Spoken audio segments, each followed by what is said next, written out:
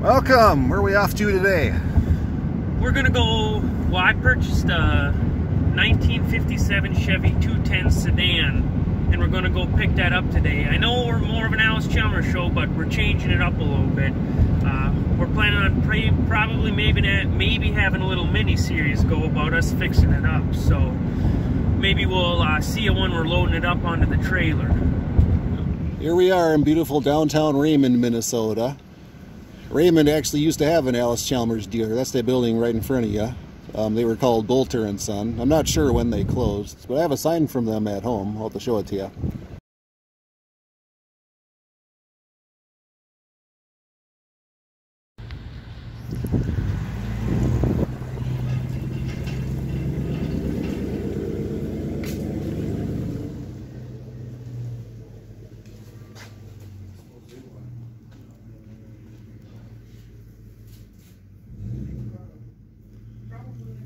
Primary safety, sorry. Yeah.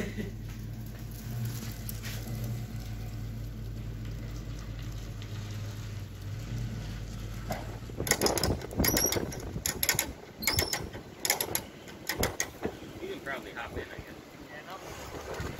If you can get in there.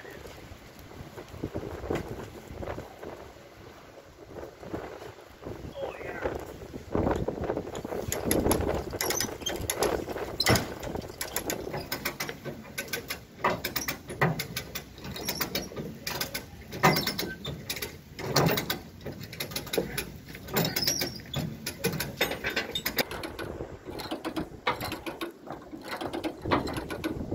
On our way home. Excited? Oh yeah, I'm pretty pumped. Hopefully we can get her fired up. I mean, fairly get her get her going. That's what I'm most excited for. Clean her up. I think she'll clean up pretty nice. She's pretty dusty and dirty, but I think under that she'll she'll shine pretty well. Pretty well. Now, you've been looking for a classic car for a while, haven't you? Yeah. Luckily, Jim he found uh, he found. I think it's a fairly good deal on it, so I think I could.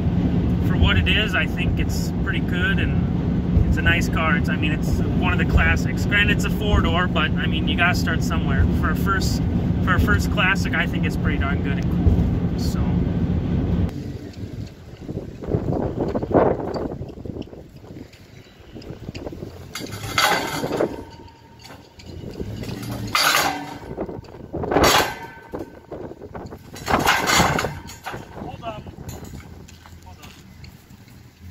So here she is in all her glory, the 1957 Chevy four-door 210.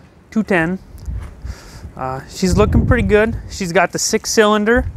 I'm hoping that we can get this baby running and just cruise it like that. Otherwise, if it's not, we might have some different plans for it, obviously. Maybe a bigger engine. Uh, I mean, there's rust, but for Minnesota, I mean, this is pretty good considering it's a Minnesota car. Interior's, I mean, fairly clean. Gonna have to vacuum out the mouse poop per usual. She's been she's been sitting a while. I would say that you could probably categorize this as a barn find. Trunk. I don't know if them are the original wheels or not. You probably, if anybody knows, who knows. This is probably the best side of it. Looking at her, no dents, little. I mean, still some rust, but I'm thinking if we wash her up, she's kind of got a lot of dirt and poop on it. But if we wash it up, I think she'll clean up pretty nice and give her a good old vacuum and some air fresheners, and she'll be looking good at least. Then the next step will be getting her running. So exciting stuff. Only about an hour away from home, so couldn't go wrong. But that's all for now. Signing off.